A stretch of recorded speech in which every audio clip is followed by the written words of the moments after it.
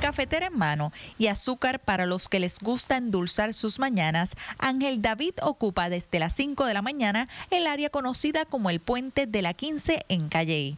Este joven de apenas 27 años mantiene a su familia con este honrado oficio que despierta a muchos que van de camino a sus trabajos. Este emprendedor se levanta a las 3 de la mañana para cumplir con esa taza de café tan necesaria. Reconoce que la pasada experiencia en el que sirvió a cinco personas y se fueron sin pagar lo marcaron, pero no necesariamente de manera negativa. En, en- en el instante, no te voy a negar, me molesté, pero después dije, Señor, ¿qué, ¿qué es lo que tú quieres que yo aprenda de esto? ¿Cuál es el propósito que tú quieres que yo aprenda de esta situación? Y pues después lo cogí con calma, porque es un propósito que Dios tiene ya. Y a través de este propósito pasó esa circunstancia que no fue agradable, como tú dices, pero después todo lo que ha venido ha sido bendición. Cuando conocemos historias como la de Ángel, reiteramos que el que dice que la juventud está perdida se equivoca. Qué buena historia, Yailin. Muy bueno. Sí, así chévere. es.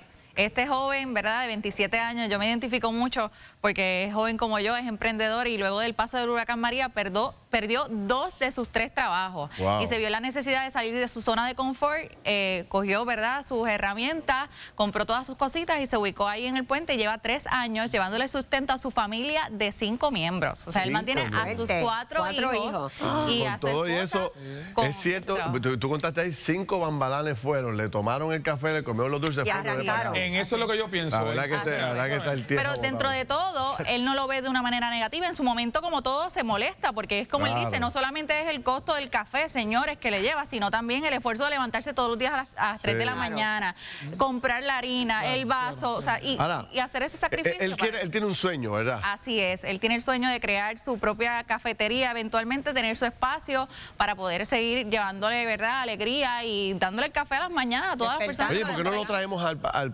programa y lo sentamos con Ay, Manolo Sidre bien. y con Muy quizás bien. con el Oye, Centro un Unido? ¿verdad? Oye, Muy bien. y lo que lo encaminen, lo logra. ayuden. Muy bien. ¿Qué te parece? Yailin, coordínalo. Yo creo, eso lo vamos a hacer, Ferdinand cuenta con eso y yo creo que sería muy importante, ¿verdad? Darle la mano a jóvenes así porque a veces eh, pensamos que la juventud está perdida, que solamente. Muy bien. y realmente no, es así. Hay jóvenes encaminados como Ángel que tienen su propósito de vida y que quieren echar para adelante. Muy bien. Ángel, eres un campeón, sin duda alguna. A las 3 de la mañana. Mira, eso. Durísimo. Eh, Muy oye, bien. es- eso es emprender de verdad. es De lunes a sábado. Y que todo el mundo Wow. pague los cafés, que paguen los cafés. Así es. sí. Bueno, gracias, Yailin, tremendo. Voy a hacer una corta pausa y regreso con la última entrada que está súper buena. No se vayan.